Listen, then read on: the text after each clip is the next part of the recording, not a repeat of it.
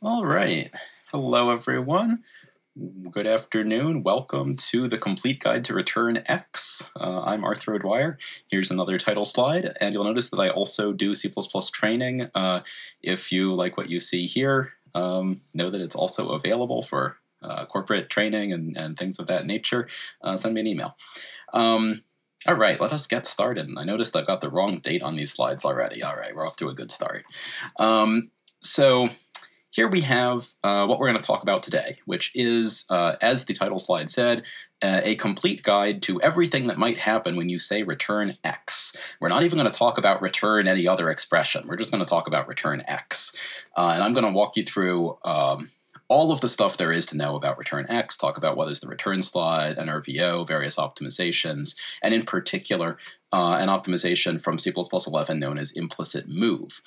Uh, and then we're going to talk about the ways that that has evolved from 11 uh, to C++ 20 and beyond. I've got a proposal right now before the committee. Um, I think it is likely to get adopted for 23, and we're going to talk about what changes it makes. Um, so this is a lot of slides. This is like almost uh, 80 slides in 90 minutes. We'll see if we can get through it. I do have um, copious question breaks in here. If you have questions, please put them uh, either in the Q&A or in the chat. Uh, and at the question breaks, I'll go look through the chat and, and see what there is. Please do ask questions. Um, all right. So here we go. I am a, an x86-64 chauvinist, so I, when I do assembly code, it's going to be x86-64, but there's not going to be that much of it in this talk after the first bit. Um, I here have a function f. f returns an integer. It returns int i.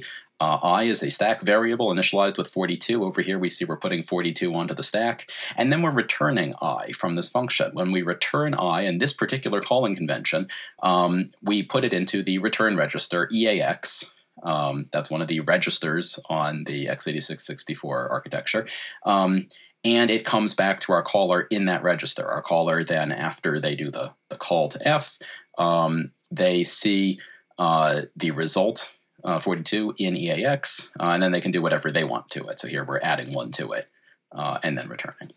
Um, so uh, since f and test each have their own stack frame, i and j are different variables, right? i is on the stack frame of f, j is in the stack frame of test. Uh, in fact, in the previous slide, I didn't even put it on the stack frame, I put it in a register. Um, and j gets initialized with a copy of i, right? C++ loves copy semantics. When we pass things to functions, we make copies. When we return things from functions, we get copies, right? They are, at least semantically, uh, at different locations in different stack frames. Uh, even for class types, this is true. So here I have a struct s containing an integer member m. Uh, this is a trivial class type. Um, and I'm putting one of those on the stack in f, and I'm returning it. Uh, and when I return it, uh, it we get a copy of that struct in j inside test. Uh, and that return value is still passed in a machine register when possible, which in this case it is. Uh, that, that s will be passed back in EAX. Um, so what about when S is too big to fit in a register? If it's too big for a machine register, here it is three ints worth of stuff, um, which I believe is too big. I think I checked that. Um, if not, make that five. Um, so here I create one of them uh, in F stack frame. So here is F on my stack here. I'm, I'm growing my stack uh, upward uh, on the screen. Even it grows downward in memory. But uh, um, so here I have f. Uh, we have uh, the variable i in f's stack frame, and when we re- say return i here, um, x86-64's calling convention and and most calling conventions for other architectures as well say that the way you return large objects is that the caller should pass an extra hidden parameter pointing to space in the caller's own stack frame big enough to hold the result. Uh, this is known as the return slot. Um, so here in test's stack frame, test has a local variable j, and test also has enough space to hold the result of the f it's going to call. test knows it's going to call f, so it creates space for f's return value and passes a hidden pointer um, to f. Um, now, the, the, explanation I'm giving you right now, of course, is the baseline um, sort of without any optimizations, without any of the C++ 17 changes, right? No, no tricks. Don't worry, the tricks are coming, but we're not there yet. Um, so inside f, f creates i, uh, and then at the return line, it copies i into the return slot. It knows where the return slot is because test passed that address to f as a hidden parameter, typically in the RDI register. Um, and then inside test, we get the result of f, and we do copy initialization and move it into the uh, uh, variable j. Now that was without any optimizations at all, right? Let's do it again faster. This step in particular is slow. Test can do better. Since test controls the allocation of both j and the return slot, right? These are both in, under the control of the, the code that is generated for test. It doesn't matter what f does. Test is, is allocating both j and the return slot. And test knows that the return slot will be used to copy initialize j. So test can allocate them both at the same memory address and avoid having to do the copy. So test now has half the stack space. It, its stack frame is only half as big because its local variable j is also the return slot. Um, and again, uh, f creates i in its own stack frame. At the return, it copies i into the uh, return slot, uh, which ha- also happens to be j. And then it returns, and we're done, right? Because the return slot is also j, so j already has the correct value. And notice that the optimizer can do this optimization all by itself under the as if rule. Right? The code the code behaves exactly as if the optimization hadn't happened. The optimization is not observable by uh, the semantics of the C++ program because uh, S is still a trivial type. Right? I have not yet introduced the idea that the special member functions could be doing something. Right? There's no user visible user visible side effects here. We have no user defined copy constructor, move constructor, destructor, anything like that. So this is completely invisible, and any good compiler is going to do this. In fact, uh, if we give the copy visible side effects, guess what? We can still do this optimization. So the C++ 98 standard has a special case in it that permits us to elide even a user-defined constructor call like this uh, when initializing an object with a temporary of the same type. So this uh, f paren paren here is an expression that sort of evaluates to a temporary, at least it did in C++ 98. Uh, and then when we copy that, tempor- that temporary object into J, uh, C++ 98 said, you know what, you can elide the call to the copy constructor and just actually do this, you know, exactly this thing, put the return slot and J at the same location in memory so that that copy does not happen. But wait, there's more. C++ 17 made this even better. So C++ 17 changed the high-level formal semantics of PR value expressions like f paren paren. So in C++ 14 and earlier, between 98 and 14, f eagerly evaluated into a temporary object that had to be moved into j. Right? It, it was uh, what today we would call an x value, although we didn't call it that back then. Um, it was a, an object in its own right, and it had to be moved or copied into J, um, unless you were able to do copy elision. Copy elision was permitted by that special case that's been around since C++ 98. Now, in C++ 17, we changed things. In C++ 17, a PR value is more like a recipe for initializing an object. You can think of a PR value as a recipe. Um, so here, when I say f paren paren, that's not really identifying a materialized object in memory that I have to then put somewhere else. What that is, is saying, here are instructions for creating an S. Which S do I want to create? J. So I create J using this, these instructions. Um, so that, that's a different way of thinking about it. It's different formal semantics. Uh, it corresponds to the exact same machine code um, that we've already been looking at right, where the return slot is also j. This is now known as the result object of the function call, of, of the expression f paren paren. All right, so that also leaves one more step um, where we're moving data around physically in memory um, from i into the return slot. This step is slow, and this time f can do better. So f controls the allocation of i. i is in the stack frame of f. Um, so f gets to choose where i goes. And f also got a pointer to the return slot. f knows where the return slot is, and f knows that i is going to be used to initialize the return slot. So f can allocate i in the return slot, and then it doesn't have to do that copy when it returns. So let's run through that. That's real quick right? Here's test, it allocates its stack frame as usual and passes f a pointer to the return slot in which f will construct its result. That is to say, in which the result object of f will be materialized. Um, so this is what test stack frame looks like. It's got j, which also happens to be the return slot, and it's going to pass this pointer into f. Oops, sorry, I went the wrong way there. Into f. And now f is just going to construct i right there in the return slot so that when we do the return, we don't need to do anything. I is already located in the return slot. This return statement corresponds to no machine code at all. Um, and this optimization is done automatically. Uh, in this case, uh, right?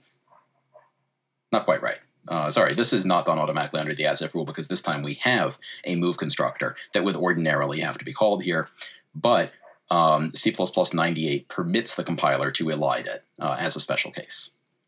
And notice here uh, that this was not affected by the C++17 rules changes. The C++17 changes to PR values affected the initialization of J uh, from the return object, from the result object. Um, but they did not affect return i, because i here is not a PR value expression. It's an L value, right? It's a named variable, so it's an L value.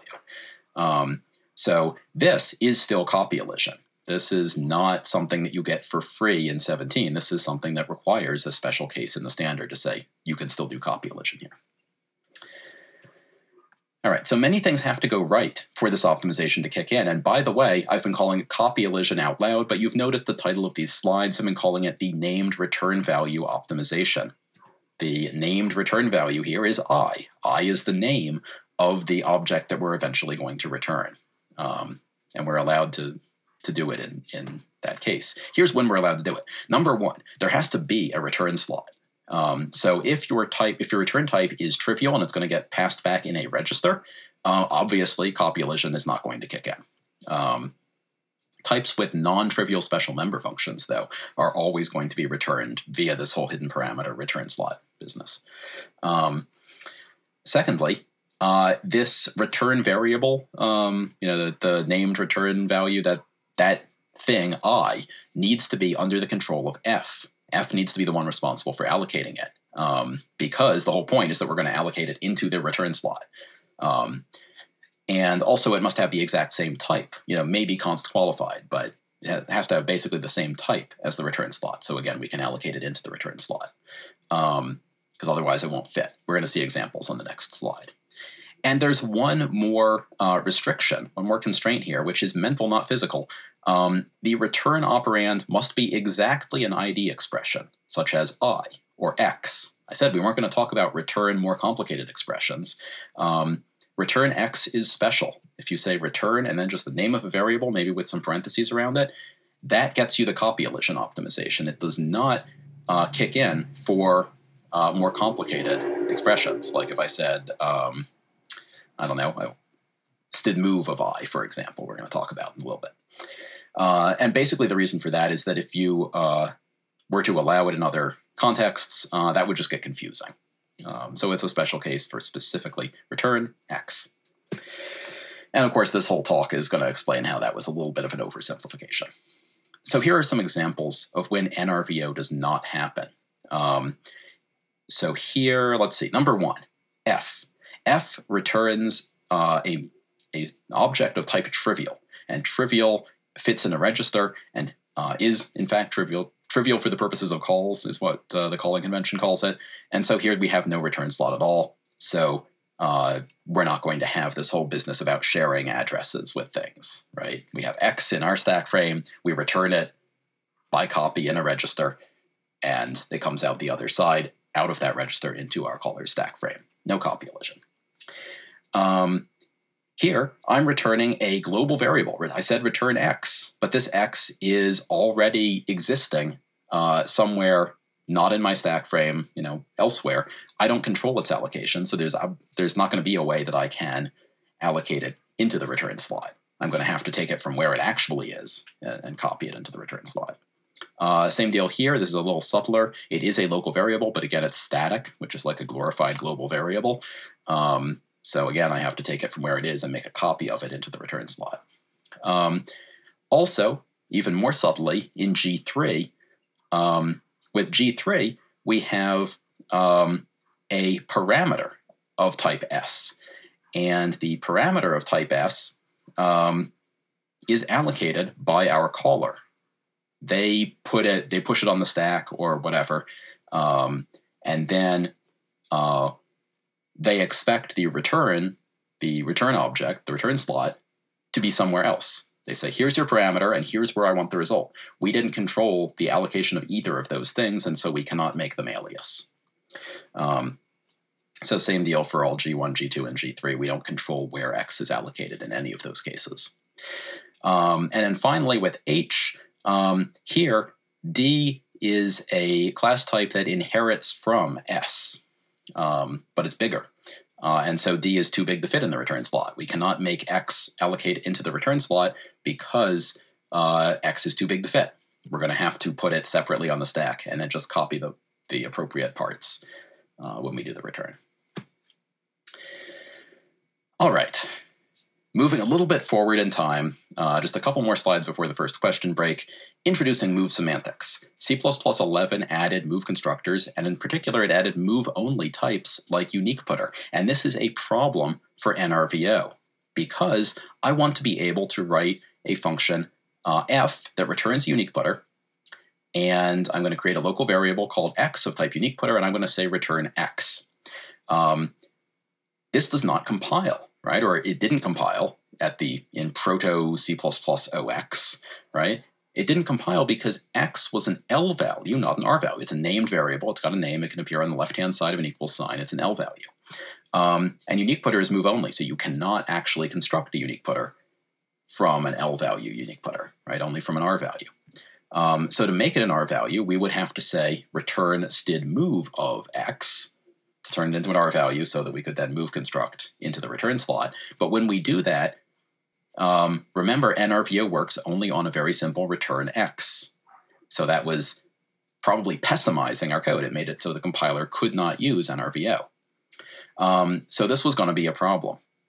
So during the C++ 11 um, release cycle, they looked at this problem and they said, okay, well, when we see return x, even though x is an L value, we're going to do a special preliminary overload resolution, and we're going to look specifically for move constructors. And if we find one, then we're going to say, okay, this return x is well formed, even though normally it wouldn't be because you're trying to uh, move out of an L value. But in this case, we will say, okay. Uh, and the reason we're doing this is so that we allow people to write just return x.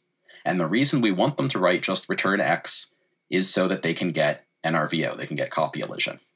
Right? If they wrote something more complicated, that wouldn't a priori be a bad thing, but it would turn off this optimization that's super useful, and we want to leave the path open for them to get that optimization.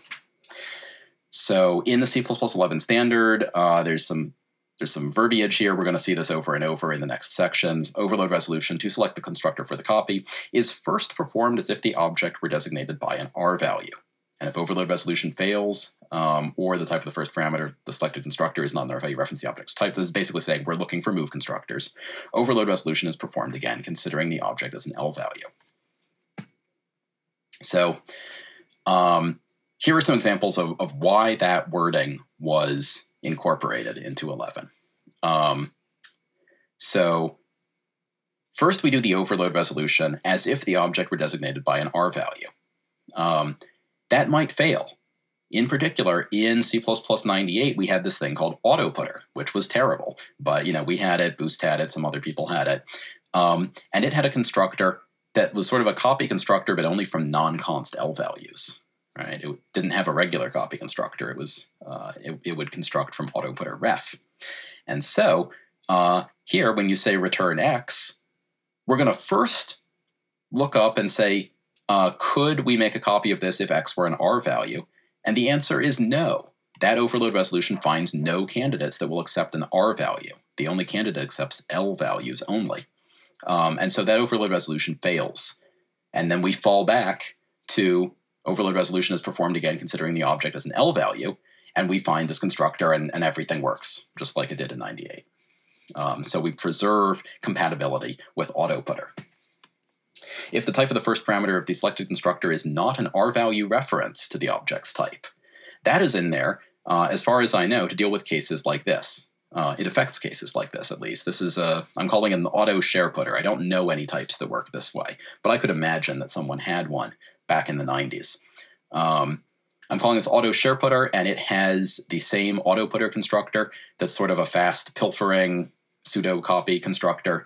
Uh, and then um, if you have a const auto share putter and you try to make a copy of it, okay, we'll do that, but it's going to be slow. You know, however that works. Um, so in C++ 98, this return x would use the fast move constructor because x is a non-const L value. So look at x, it's a non-const L value. It's going to prefer this fast pilfering constructor. Uh, but in C++ 11, we're going to resolve as if x were an R value. So this candidate, the first candidate here, the fast pilfering candidate, doesn't work on R values, but the second one does. So overload resolution does succeed, and it finds that second uh, slow copy constructor, um, but we didn't actually want to call that. Um, so we look at the type of the parameter, we see that it's not an R value reference to the object's type, it's an L value reference to the object's type. Um, and so we say, never mind, I will fall back and, and again do the, the uh, overload resolution performed again, considering the object as an L value. Um, so that's why those two things were in there when C++ 11 was introduced. Um, shortly after 11 was released, there was a defect report. Uh, Core Working Group issue 1579 broadened this rule very slightly so that implicit move is going to apply even in cases where copy elision was not relevant. Um, right? We were, the whole reason we were wanting people to write return X is to preserve the ability to do copy elision. Um, so it originally only applied in cases where copy elision applied. Um, but then people looked at these two cases. Uh, here we have a function g3 that takes a unique putter as a parameter and then returns it. Um, and copy elision, as we know, is not possible here because parameters are caller allocated. Um, but um, okay, this CWG 1579 says, yes, this is okay. You can do this. This does implicit move. Uh, and then H2 here, uh, we have a local variable, but it's of a different type it's not of the type of the return slot. So X cannot be physically aliased with the return slot. Um, but there is an implicit conversion from unique putter of derived to unique putter of base, right? And in H2, we do that overload resolution, treating X as an R value. We find um, the templated constructor uh, with U equals derived here. And so this return X is well formed because uh, the first overload resolution does find a constructor uh, whose uh, parameter is an R value reference to X's type. All right, so all local objects of automatic storage duration, regardless of type, get implicit move, starting with the resolution of this defect in C++ 11. Now we're caught up to C++ 11, and nothing really changed until C++, you know, through 14 and through 17, until C++ 20. So we're going to talk about that next. But I'm going to switch back to the comments and see all of the chatter. There's all, all sorts of stuff. All right, what do we got? Um,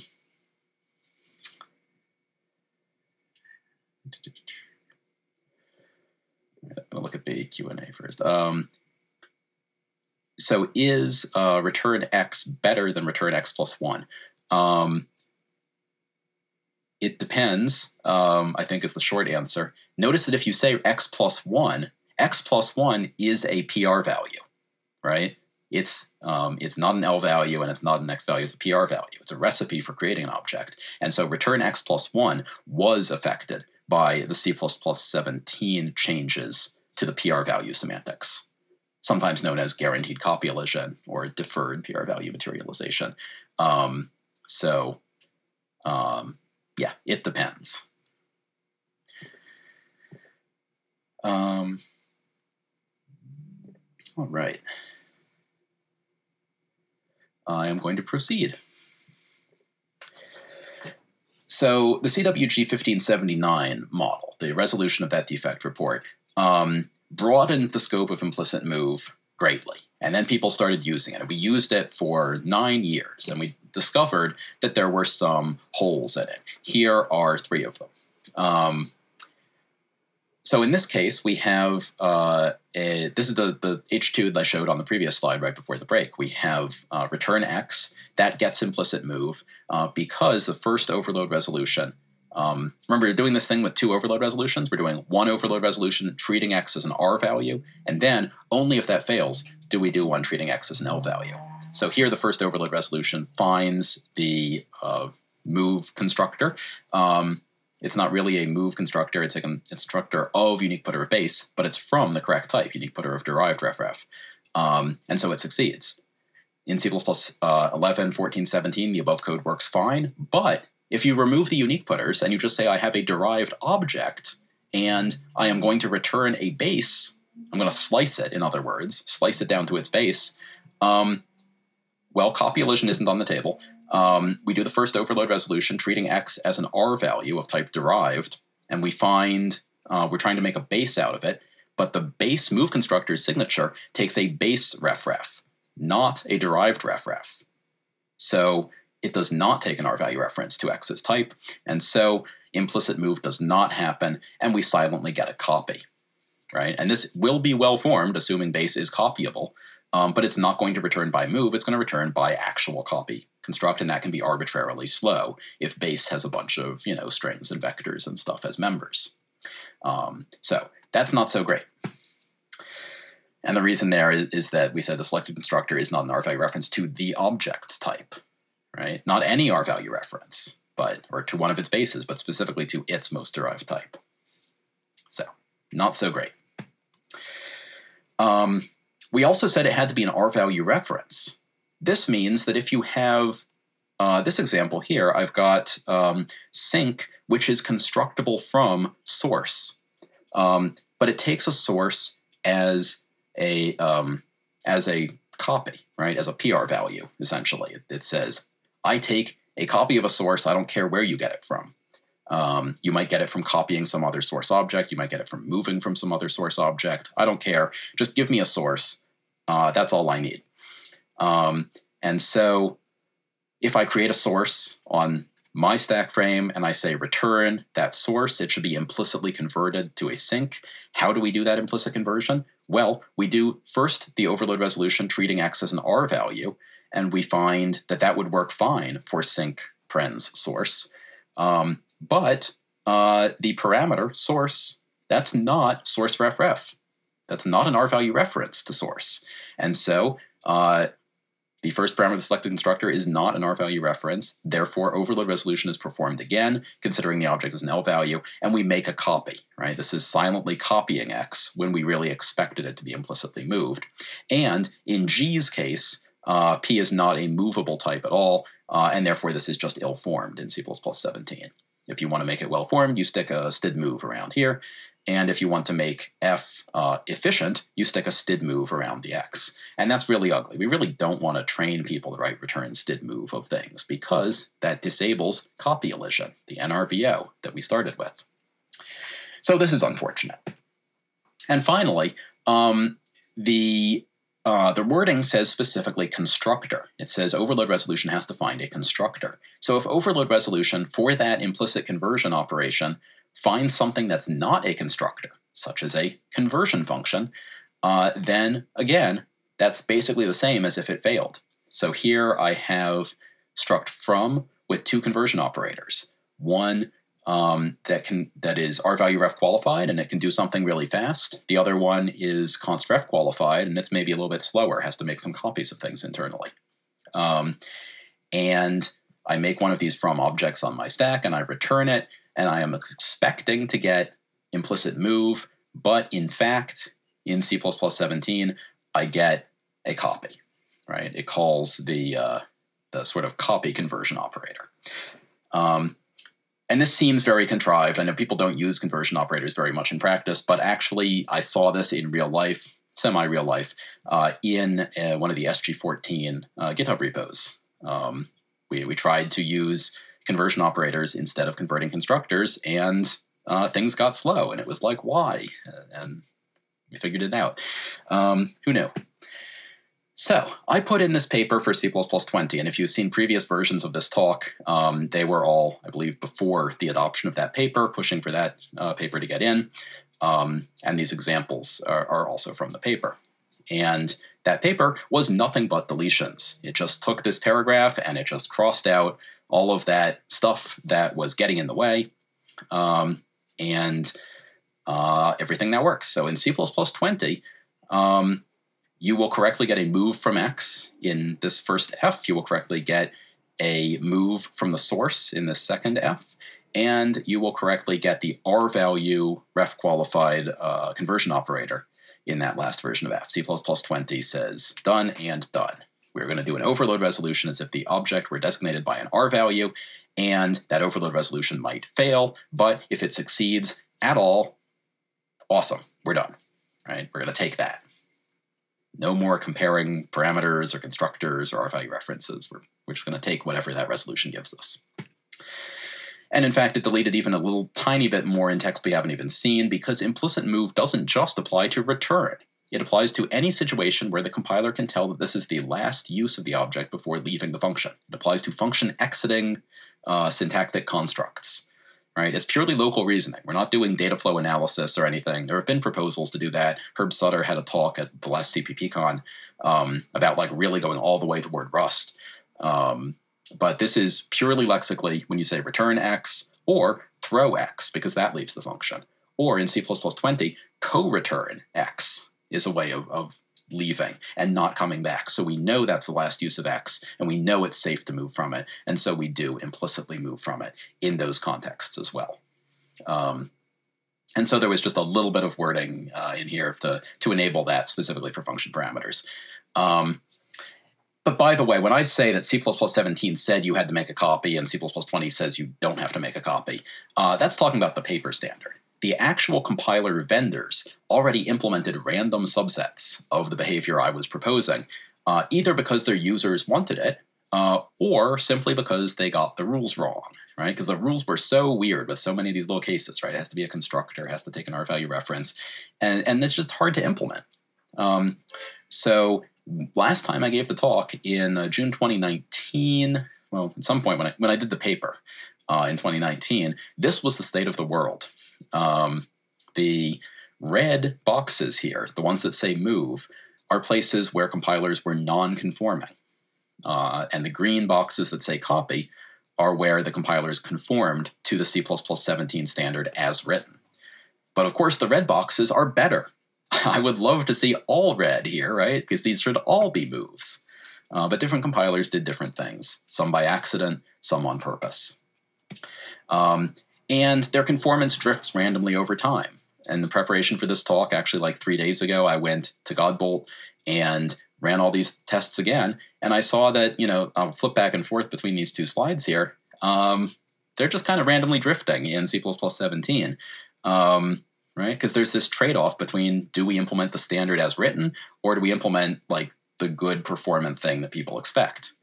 So P1155 um, was essentially trying to make those be the same thing, right? Let's standardize the, the good thing that people expect. And I think we kind of succeeded. If we look at C++20 mode now, as of three days ago on Godbolt, um, we see that G, uh, GCC 11 is now totally in conformance with the P1155 rules. Um, and now all of those moves that had been red on the previous slide are green, right? This is now standard behavior in C++20. Um, Clang 12 hasn't quite caught up, but in Trunk it actually already has. Um, and Visual Studio and ICC haven't really started trying to implement these rules yet. Um, so they're they're the same as on the previous slide, but now all of the uh, red moves are green moves, and all the green copies are red copies. It says now you need to go make these moves as well. All right, so we're getting more moves in more places. That was the title of P1155 was more implicit move. Um, But there's another big change that also came in in C++20. Uh, this one will surprise you if you have not seen it before. It may delight or shock you. Um, I was initially shocked. I'm coming around to delighted. That's David Stone's paper P0527 implicitly move from R value references in return statements. So, step one, this factors out in just moving the wording around. This factors out the notion of an implicitly movable entity. Um, so, an implicitly movable entity is a variable of automatic storage duration and, and not volatile. And, and um, then we can start replacing, you know, some of these long, complicated repetitions with just saying, is an implicitly movable entity, is an ID expression names an implicitly movable entity. Okay. And then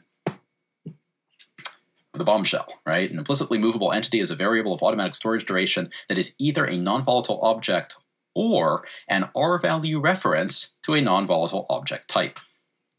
Okay? Um, so that, you know, those four words mean that when we say return RR here, normally anything with a name is null value. So RR here is null value. Normally we would copy out of it. We'd say that string referred to by RR, um, you know, copy it into the return slot. But in C++20, return RR uh, is returning by name an implicitly movable entity. This RR is a variable of, of R value reference type. Um, and so, uh, yeah, so that will also get implicit move. And we will now move from the string referred to by RR. Um, this gives us um, something that uh, for a couple of years now I've, I've, used the phrase forward perfect backwarding uh, for this, and I got that from Ezra Chung, if I recall correctly. Um, the idea of perfect backwarding is the opposite of perfect forwarding. Um, we want to call this function and we want to return its um, result perfectly back to our caller, um, but maybe modifying it in some way along the way. So uh, I'm going to capture it in a decltype auto variable x, and then I can do whatever I want, you know, x dot modify in some way, and then return x. Um, so f of a here uh, initializes its so f of a a a's foo returns a pr value a. So here variable x is of type a, uh, and we return something of type a, and it all works great. Um, f of b um, b's foo returns a bref. So here x is a bref, uh, and here I am copy constructing from the thing referred to by that bref into my result slot. Um, again, not a problem. Um, wait a minute, am I doing this right? Why is G different from F? Ah, yes, okay. Um, we are comparing F to J. So F is the, the version of, of returning uh, t.foo um, just directly, and then G is inserting that that possible modification, right? Giving it a name and then returning it by name. Um, so F and G should have the same behavior. Um, and indeed, F of A and G of A have the same behavior. F of B and G of B have the same behavior. F of C and G of C, where X here is an R value reference, um, well, in C++20, since X is a local variable of R value reference type, we will move out of it into the return slot. Uh, in C++17, we would not have. We would have copied um, from the thing referred to by x into the return slot. Um, and so C++20 has made G of C more efficient and has made it match f of c. So f of c and g of c used to have different behavior. Now they have the same behavior. But there is a problem even in C++20. So now I've changed the return types from regular auto, so they're not just returning A, B, C. I've changed them to decltype auto. So we're going to return A, B ref, and C ref ref. Um, so for A and B, it all works pretty much the same. For C, F of C returns decltype auto. So uh, C's foo returns C ref ref. So this is going to return a C ref ref um, bound to the referent of T dot foo. So that works fine. Um, but then in G, it's going to declare a local variable x of type C ref ref, and then it's going to say return x. um, where the decltype of x is crefref. So we're trying to return a crefref result from a crefref variable. And in C++ uh, 17, that didn't work because x is an L value, and you cannot bind an R value reference to an L value uh, without an explicit std move. So this was ill-formed, and in C++ 20, this remains ill-formed. The reason is that implicit move applies only to objects, right? In the following copy initialization contexts, like return from a function with a class return type, uh, and we're looking specifically for how to do overload resolution on the constructor for the copy. Here we're not making a copy, we're just binding a reference. We're not going to construct any objects, we're just binding a reference. Um, so none of the implicit wording, none of the implicit move wording kicked in at all. And uh, that remained true even after P1155 and even after P0527 were both applied because they were just modifying the rules of implicit move. Uh, they weren't changing the, the overall, um, you know, when do we apply this? So in C++ 20, we have this unfortunate situation where um, if I take a move-only refref parameter, I can then return it by name if I am in fact making a copy, if I am in fact uh, moving from the thing referred to by RR. But if I just want to return a move-only refref directly, I cannot just pass it through. This is ill-formed because RR is an L value. Uh, so this is still the case in C++ 20, and uh, this seems unfortunate. And now we're caught up to C++ 20, and I'm going to try to flip back and see if we have more questions. Everyone's eyes have glazed over already. All right. Oh, one Q&A. Um, with all the pitfalls, is there a good way to get warnings or errors when an implicit move doesn't kick in? Uh, Clang, for the past couple of years, has had a warning uh, uh, called, I think, uh, return std move um, that will diagnose places where uh, P1155 fixed the problem. Um, essentially, uh, I made that warning in Clang. Um, and then I said, this is dumb. Let's just make a paper instead and fix it. Um, so now that warning is almost counterproductive because it's like just upgrade to C++ 20 and then all your problems go away. Um, so it was kind of wasted effort. I don't know. Um, but also in other compilers, I don't believe they have any sort of uh, warning for this. Um, and uh, Jason says, "Is there work on fixing that? Presumably, you mean these hole, the hole that I have just identified in the slides." Yes, in fact, that is the subject of our next um, little bit. Um, is it possible to solve the issue with the decltype auto return by saying return std forward of t of foo? Um, yes, that will do the right thing, but you won't get copy elision. You're not going to get NRVO if you say return anything other than a simple name. So you're losing copy elision. You're getting the right copy and move. Um, you know, you're copying when it should copy and it's moving when it should move, but it's moving in one case where we would like to get NRVO instead. Um, so that's why we don't want to say return std move of foo or return std forward of foo.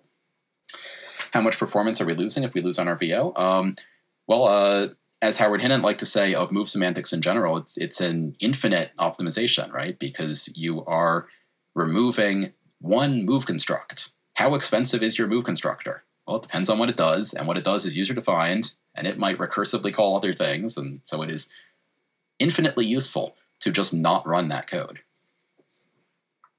All right. Um, let us continue. And let's go down another little rabbit hole here, because this is a fun story that I did not know before I started work on P2266. And that is the dangling reference wrapper. So here's a bit of code. This is C++98 code. It looks really simple. Um, I'm showing you down here, uh, by the way, this is the standard reference wrapper, all the bits of it we care about, which is literally just what's its constructor overload set. And in C++98, it had basically one constructor. Reference wrapper of t was constructible from a reference to a t. Um, so here I have a function f that creates a local variable x and then says return x, and its return type is reference wrapper of int. So what happens? Um, well, we try to construct a reference wrapper of int from x. x is an L value. Reference wrapper has a uh, tref constructor. Of course, this compiles and it returns a, a, reference wrapper referring to x, which is now gone, and you have a dangling reference wrapper, right? So this code is perfectly valid C++. You can compile it. It will just have undefined behavior if you try to use that dangling reference wrapper at runtime. So this is this is a pitfall. We don't really want this to compile, but it does, and it makes perfect sense why it does. Not a problem. So then C++ 11, uh, same thing, right? prior to uh, CWG 1579, we would do those two lookups. Um, and uh, oh, sorry, prior to C- CWG 1579. So X here uh, is not implicit moved at all, right? It's an int. This is a reference wrapper event. Those are different types. Um, so we're not even gonna we're not gonna do the uh, the implicit move stuff at all. But then CWG 1579 came along, and then X becomes a candidate for implicit move because it is a an object on F stack. It is an automatic storage object. Um, and so we're going to do that first lookup, looking for um, reference wrapper, a way to construct a reference wrapper of int from an int ref ref. Uh, and that's going to find this uh, deleted constructor. So that overload resolution, this is subtle, that overload resolution succeeded but the candidate that it found was deleted. And so um, the first overload resolution is successful. We don't do the second overload resolution. We say, ah, yes, I am going to use this deleted constructor. Um, and of course, if you try to use the deleted constructor, uh, you get an ill-formed program. So return x is now ill-formed. Um, that's great. We didn't really want this code to compile in the first place. Return x was ill-formed. But then, um, there was a problem, a separate problem that was discovered uh, with reference wrapper. Um, I think uh, Stephan Lavavej, I, I, think, filed the, the issue about this. The problem with C++ 11 reference wrapper was that deleted functions um, are still visible to overload resolution, as we saw on the previous slide, but there are contexts in which we don't want that. We want it to actually SFINAE away. I came up with a sort of contrived example for the purposes of these slides. Um, I say uh, make unique of derived, and I have a, an R value unique putter to derived, and I have two candidate functions G, one of which takes a reference wrapper to unique putter of derived, so it wants the L value, and the other one takes a unique putter to base. Um, so it would have to do a conversion as well. So these both have to do conversions, uh, but only one of them is actually going to work. Right? You can't take a reference wrapper to an R value, but you can take one to an to an L value. Um, and we're giving an R value, right? Um, and the problem is this was ambiguous because both overload resolutions succeed. Uh, both of these candidates are viable. It's just that one of them uses a deleted function and the other one doesn't.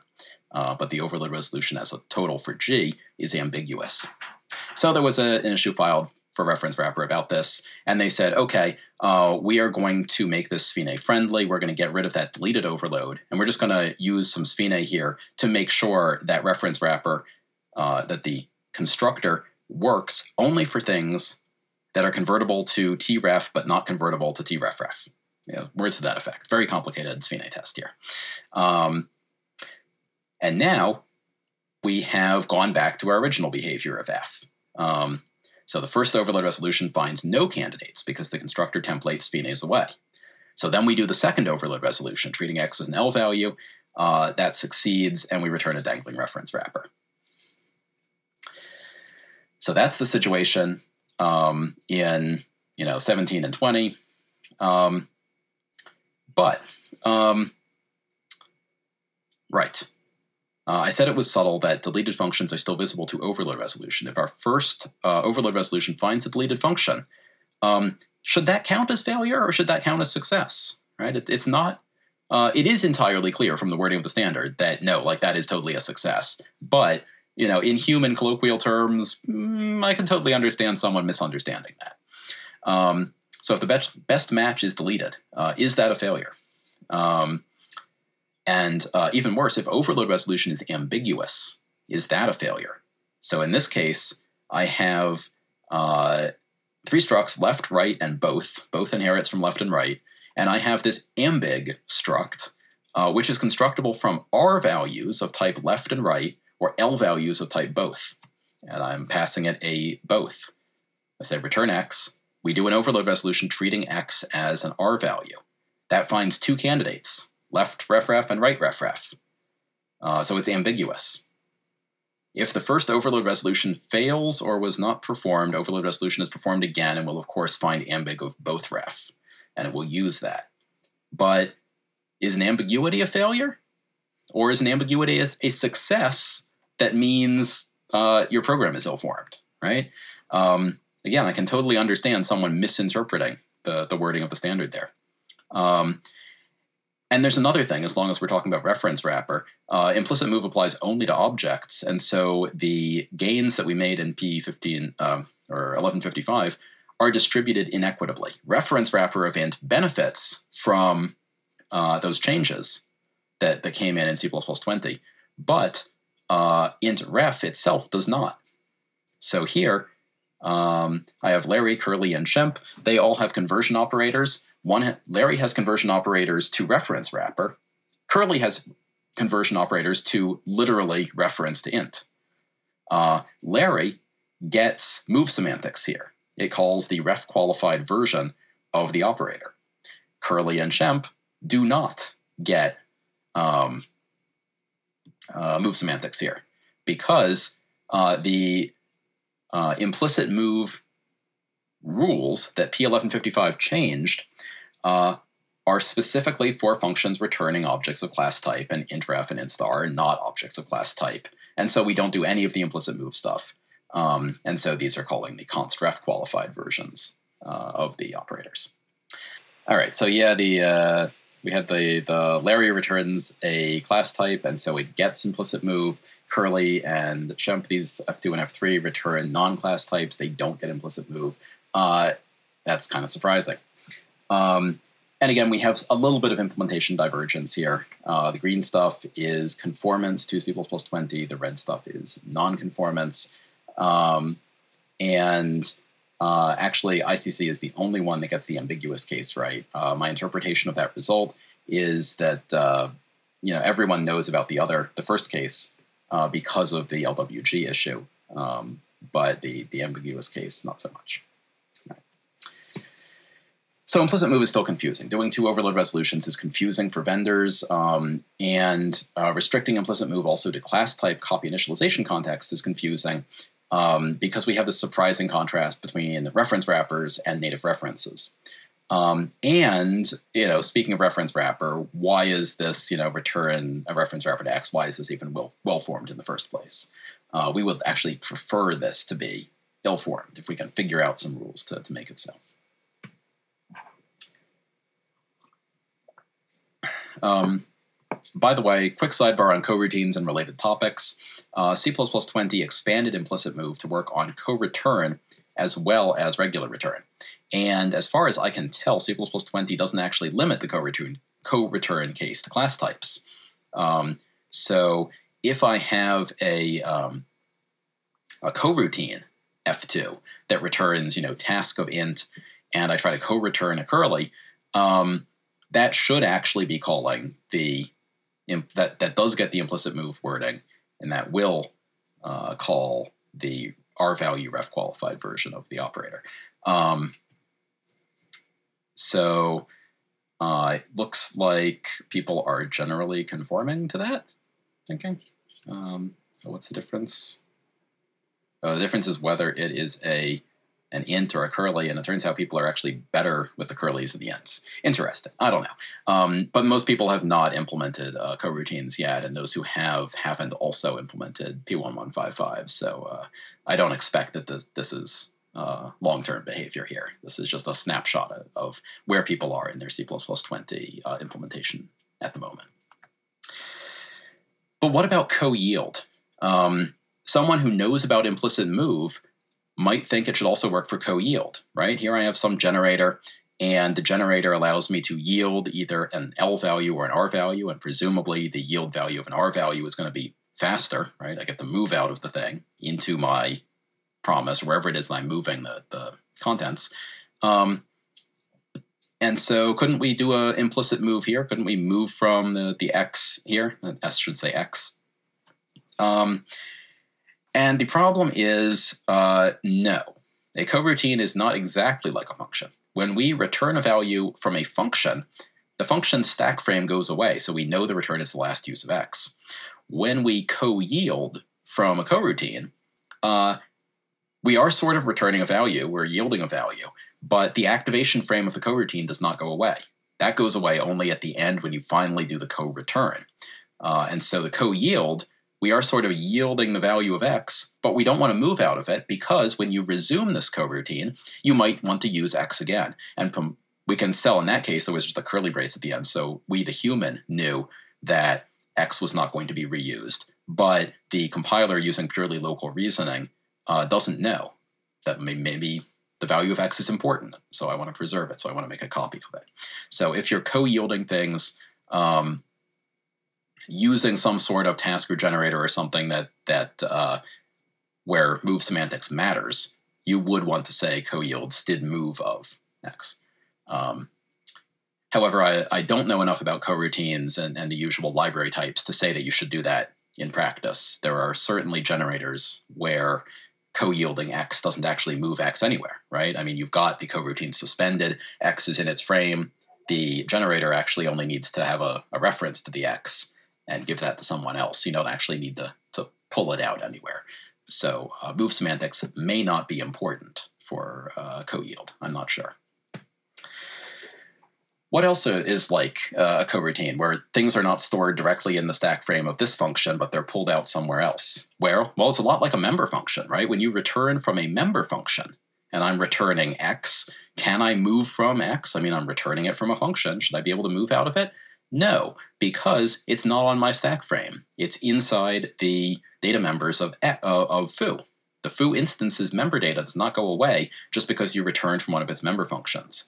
Um, not even if the member function has a suggestive name like retrieve my result, right? The compiler cannot prove this is the last use of x. Um, and for this reason, return std move of x is never going to be entirely obsolete, right? We are expanding the places where you can just say return x um, as if this were a simple language like Python. Um, and we're expanding the number of cases where that just works. But uh, it's never going to always just work. If you really wanted to move out of x in this case, you would have to say return std move of x. And the compiler is not going to even be able to, to you know, warn you that, hey, maybe you want to move out of x here, right? It has no idea. It's not looking at the name of this function and seeing, hmm, yes, this is probably the last use of x. That doesn't happen. So what else is like member functions? Uh, lambdas, right? A lambda is just a class with member functions in disguise. Um, so this lambda that says return y, can it move out of y? No, because you might call the lambda a second time, right? This is just like our very first can't NRVO example. Um, we don't control the allocation of either x or y, and so we can't NRVO. Um, and we don't control the lifetime of x or y. We don't know that this is the last use of x. We don't know that this is the last use of y. So I'm, I'm subtly distinguishing here between controlling the allocation, which allows us to do copy elision, and controlling merely the lifetime of it so that we know this is the last use of it and we can move out of it. Um, but in both cases, x and y here, we don't control their allocation or their lifetime.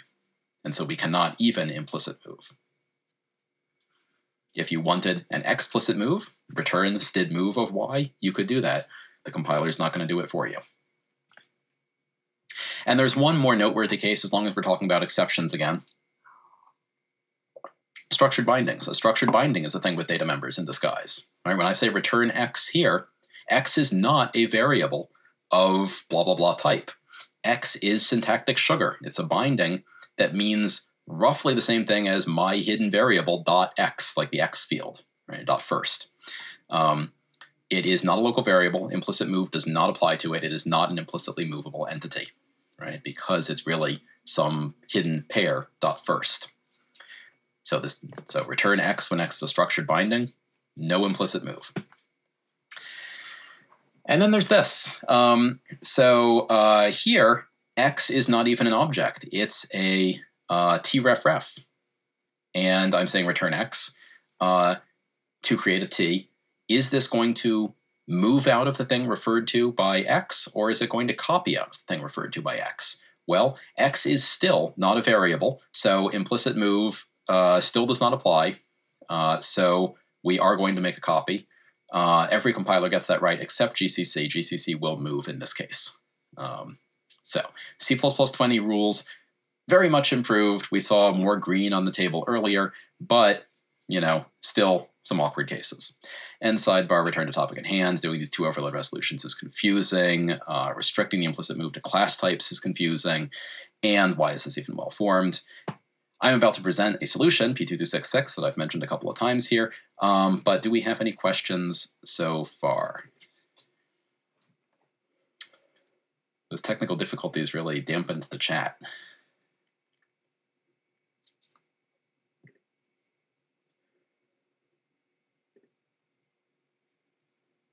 All right, I'm going to continue.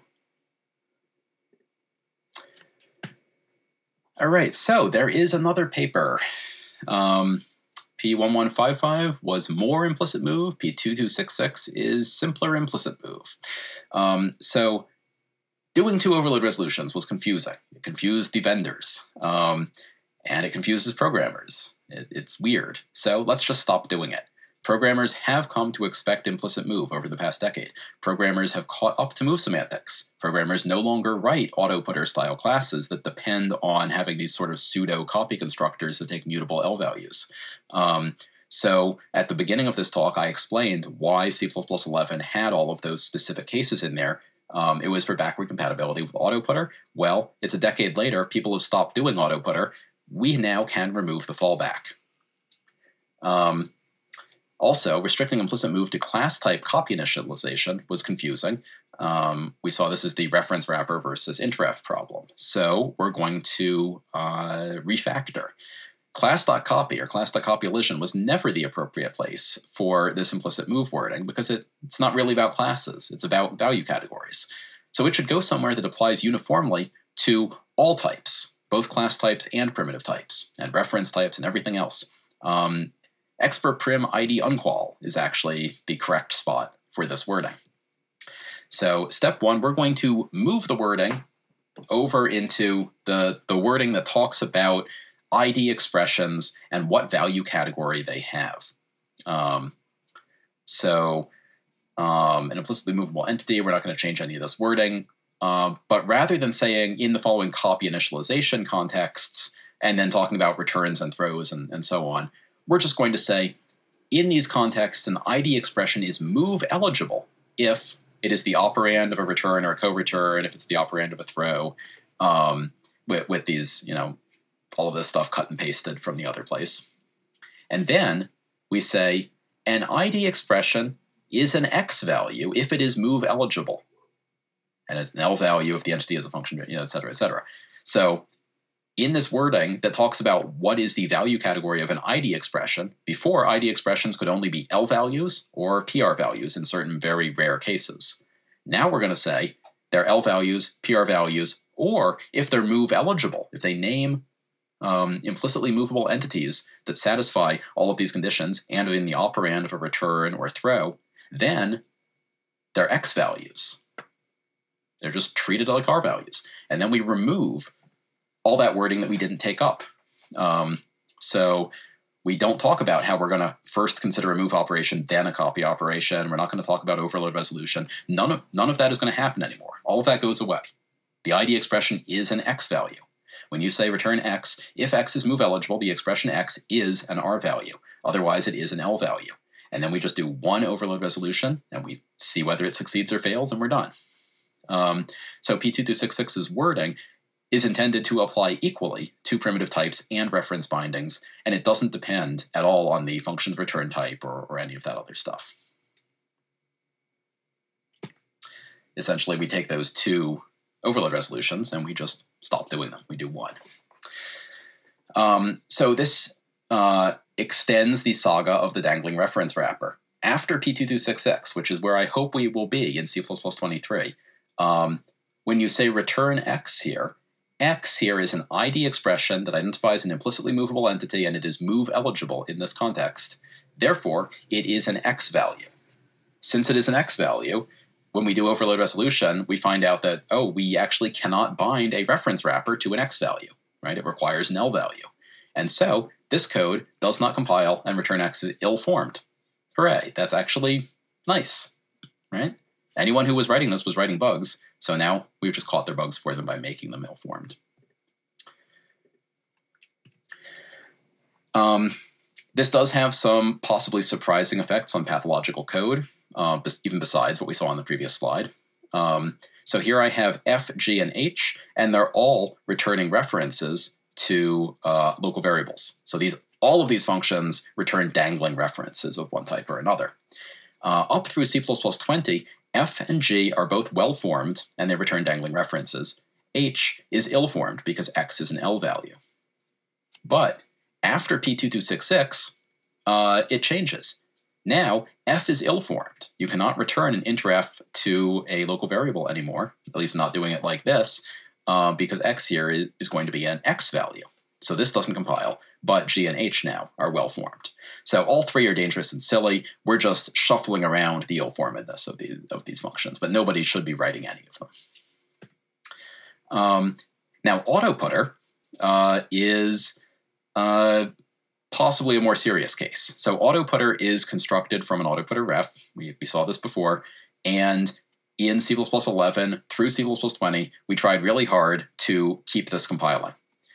P2266 proposes that we break this code, this f that tries to return x where x is an autoputter. We're going to break that because now x is an r value, which does not bind to the L value reference in this constructor.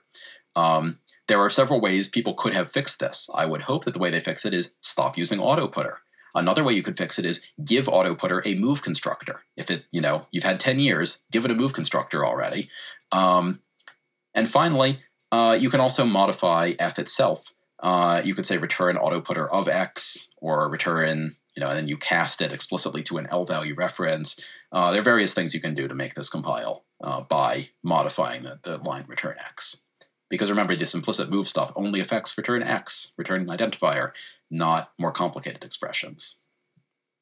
So here in return autoputter of x, what is the value category of x? It's an L value, because things with names are generally L values. The only time an ID expression is not an L value, when it's, a, when it's an X value, is when it's subject to implicit move, which only happens for return X. Uh, so that's why return autoputter of x doesn't have the problem that return x would. Uh, your auto share putter um, in 98 through 17, uh, this continued to be well formed. We continued calling the pilfering pseudo copy constructor instead of the real copy constructor.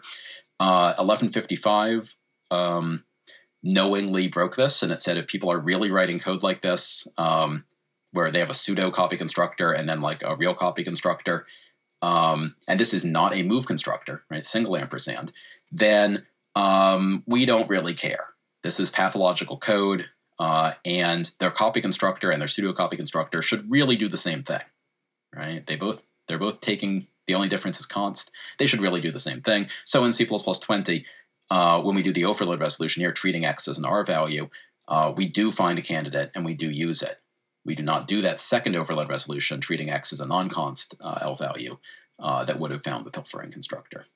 Um, so in 20, uh, if you want to preserve the behavior of this code, number one, you're doing C++ wrong, but uh, you can preserve the behavior of this code again by saying return auto shareputter of x, right?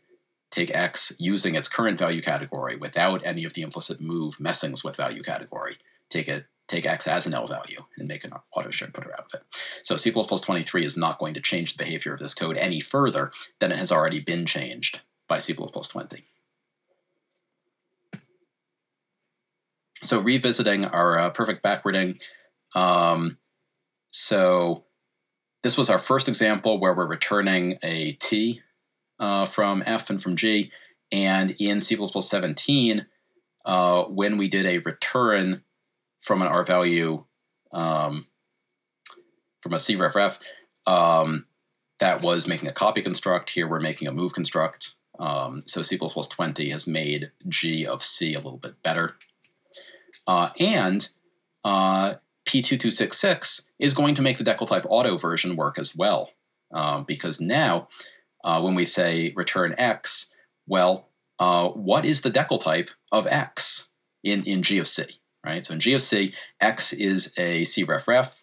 so decltype of x is cref um, and so we're going to bind uh, x to that cref. What is the value category of x? It's an L, or sorry, it's an x value after P2266. So P2266 makes this code work. Um, by the way, what if we put parentheses around this? Um, so decltype auto is a little bit confusing, um, but I think that it all hangs together um, in a self-consistent way. In all versions of C++, including the proposed C++ 23, decltype auto follows the same special case as decltype of expert. If you're decal typing an ID expression that names an entity, uh, we're going to use the declared type of that entity, like t. If you put parens around it, you say, what's the decltype of parens x here? Um, we're going to say, well, that has the value category of x. And so uh, up to C++ 20, uh, the value category of x here has been L value, even though we're doing this weird overload resolution thing. You know, it, x is still an L value. But in C++ 23 with P2266 applied, the value category of x is actually x value. Um, so in C++ 23 with P266 applied, we propose that the decltype auto return type of G should be uh, tref not just T. Um, and that sounds crazy when I put it that way. Um, but notice how absolutely insane this code is, right? It, it's uh, it's a decltype auto, and it's returning a parenthesized thing, and that was already uh, likely. If you see this in your real code, this is probably a bug. Um, but then also the nice thing about this is that we'll just compile. Um, here's a big table, and for once, this is not a conformance table. This is uh, a bunch of functions that you could write, um, all of these being templated on T, right? Um, and whether the return statement is well formed or ill formed in each version of C. Um, and uh, also what that return type is. So obviously, if it's just a plain old auto, um, or sorry, Yes, it, plain. It's a it's a it's a decltype of x. What is the decltype of x? It's just t. What is the decltype of parens x? That's uh, tref in each case. Um, and I have a typo on this slide that I should probably actually fix live. Um, the typo being that here, this should have said uh, tref, right?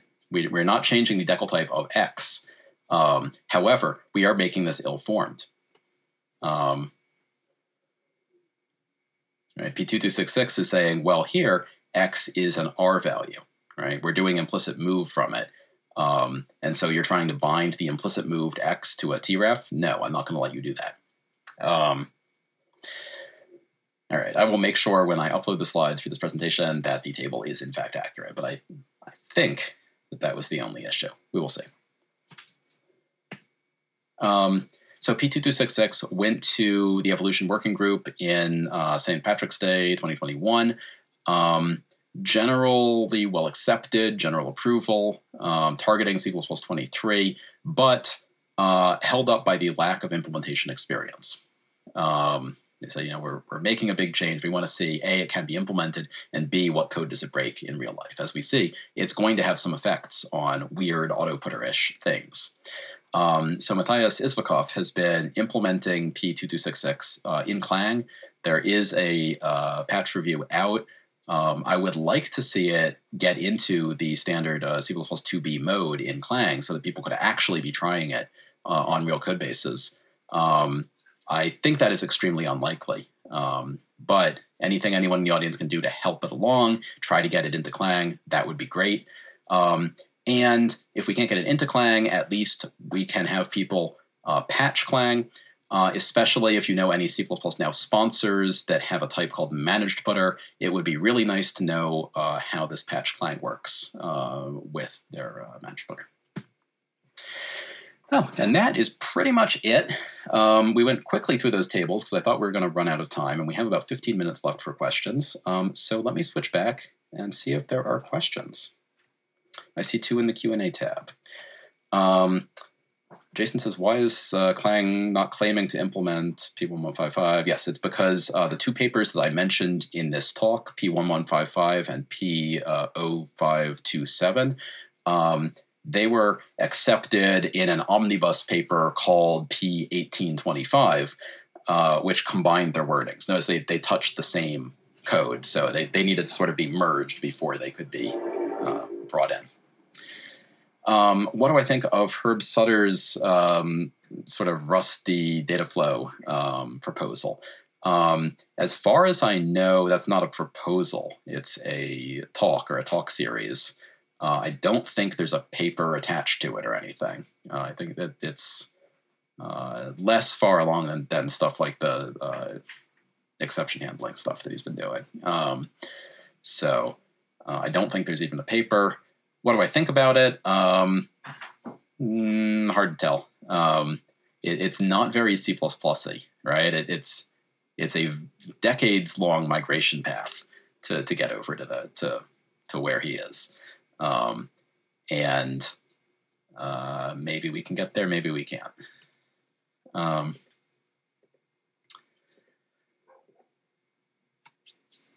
all right.